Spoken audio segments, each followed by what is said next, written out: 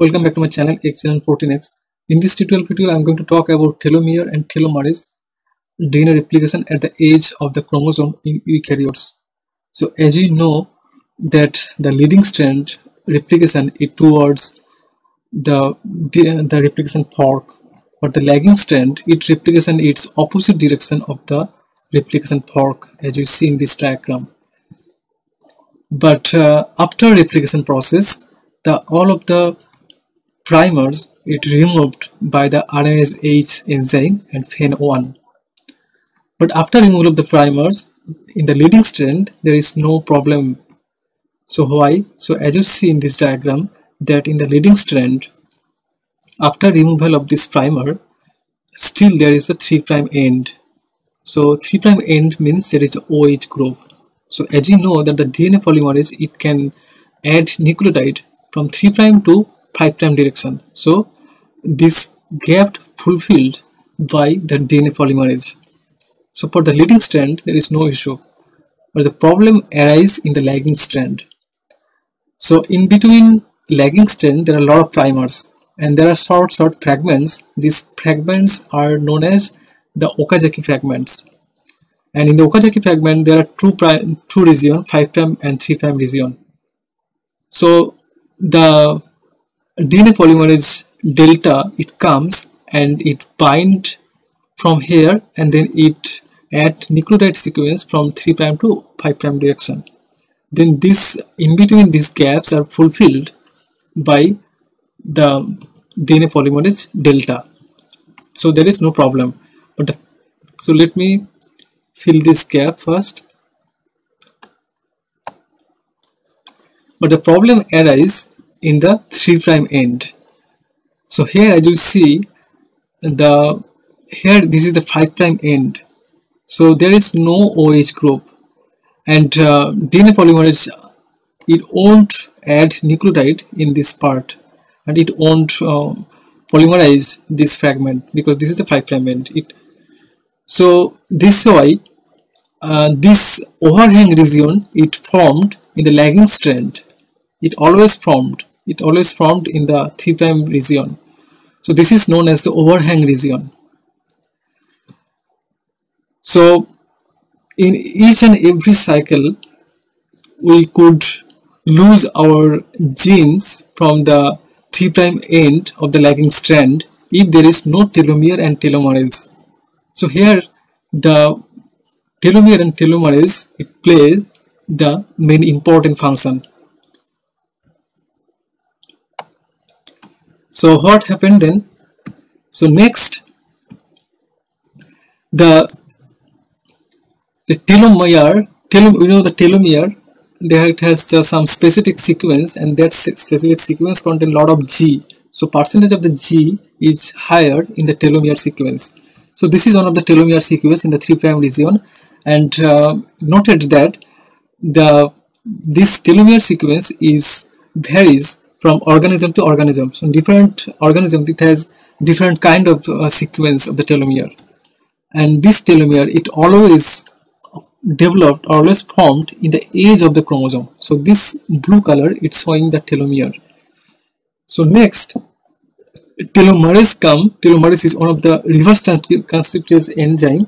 And this has it has some complementary sequence. And telomerase it bind the last two nucleotide base. So as you see here they the, the G and T and uh, telomerase it bind with A and C. Alright? And then this sequence is filled by the telomere. So telomere actually it extend this sequence. And remember that this sequence actually this is the non-coding sequence. This is the junk region the, the main function of this telomere is just to protect the main genome from being cleavage by the FEN1.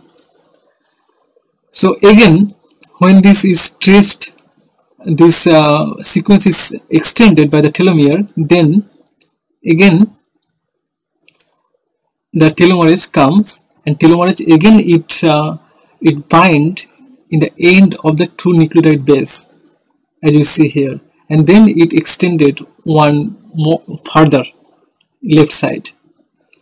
All right so this is how in the 3 prime region this uh, this sequence is extended by the telomere and this chunk region formed.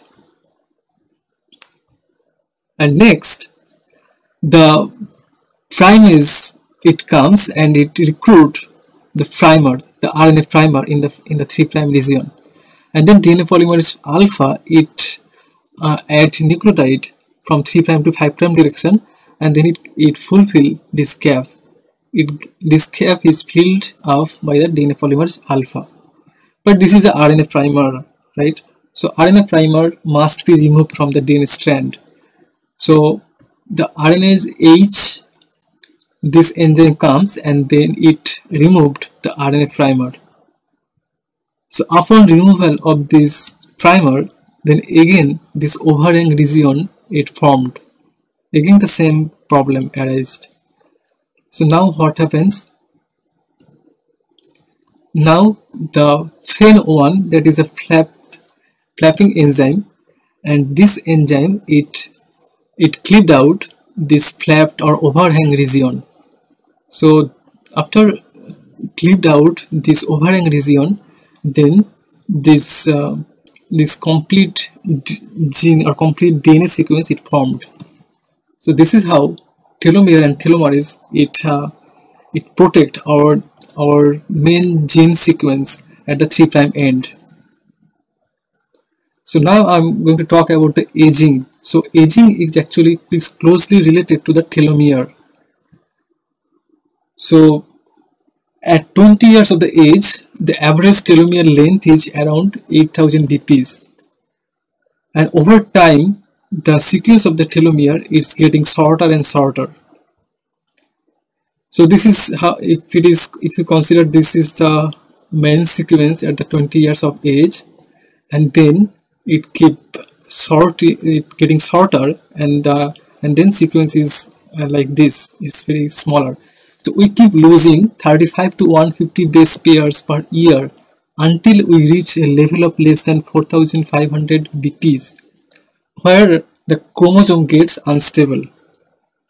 So when this 4500 BPs it's uh, it's being uh, it, this kind of telomere sequence is lost over time then what happens then the chromosome gets unstable and there is a cleavage cleave out of the main gene sequence at the 3 prime end of the lagging strand. And the outcome is there are serious health issues because in the in the five in the three prime end it might have some important genes and if we lose these genes over time gradually then that leads to a serious health problem alright so this is all about uh, telomere telomerase and the replication in at the 3 prime end of the lagging strand. As you see in this in this figure it looks like this. This is uh, this is higher longer sequence but over time period it uh, it lose the sequence and it getting shorter and shorter